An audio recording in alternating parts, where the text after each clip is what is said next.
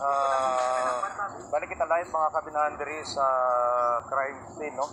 Kung sa diin may uh, nadiskubrihan nga duha ka patayong lawas.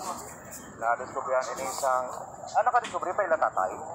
Si sir nga may ara nga punti ka na banta balay. Katabang nila. Katabang nila. Working student nila. Oo. Ako kita nag-text.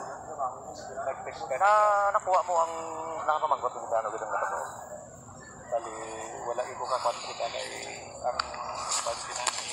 makabalugan is tatay niya. Ang ano na pangkit sa sulod kay wala pa niya na pangkit ang bata niya kaya doon niya makakaya. Hindi makaya, makaya makita ang bata. So bali ang nakahatag sa information sa tatay ito bilang nakatabang. O katabang pero nakasilip naman tatay niya pero nagbalik gawas. Hindi niya kaya tanawon. Kaya tanawon bata niya. Confirm duwa kitang patay. ang katong yaya niya nakaambal nga duwa. Duwa.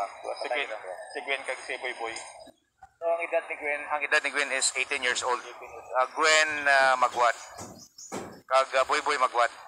Ang edad siya ni 16 years old. Amo siyang college pre si Gwen. Si Gwen sa USM. USM eskwela. Si Boy Boy, Samlang National. Samlang National. Ano grade niya pre? Grade 10 na. Grade 10. Okay.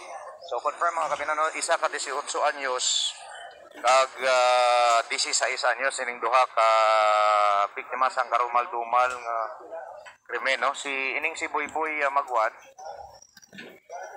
uh, isa ka 16 anyos ini kagang iya nga magulang